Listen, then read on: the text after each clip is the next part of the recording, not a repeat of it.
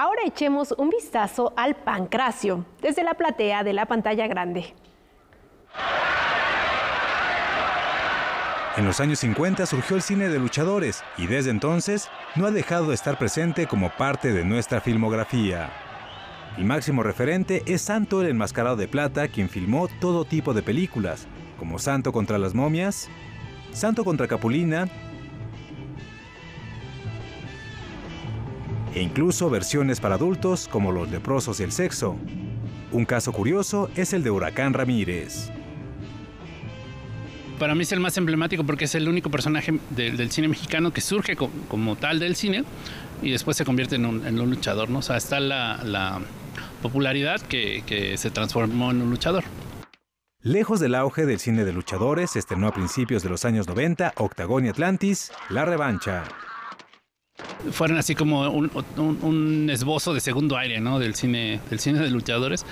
Pero al menos en, a título de, o sea, en, los personajes yo creo que sí catapultó mucho sus carreras porque digo, ¿quién no conoce a Octagón? ¿Quién no conoce a Atlantis? Máscara Sagrada, ¿no? Más allá de, de que, por ejemplo, Atlantis y Octagón en algún momento fueron los estandartes de las dos empresas más importantes de lucha libre, ¿no? Las mujeres no han quedado fuera de este subgénero cinematográfico, con títulos como Las Lobas del Ring, y por supuesto las películas de los Calderón, que eran básicamente la misma película donde se repetían las historias con distintas actrices, Regina Torne, hasta Ariadne Welter la hizo de luchadora y por supuesto la diosa madre de todas las mujeres luchadoras del cine, Lorena Velázquez. Michelle Ramos Araizaga en 2009 estrenó La Magnífica. Antes filmó el documental Los Exóticos y en 2010 presentó Casandro el Exótico.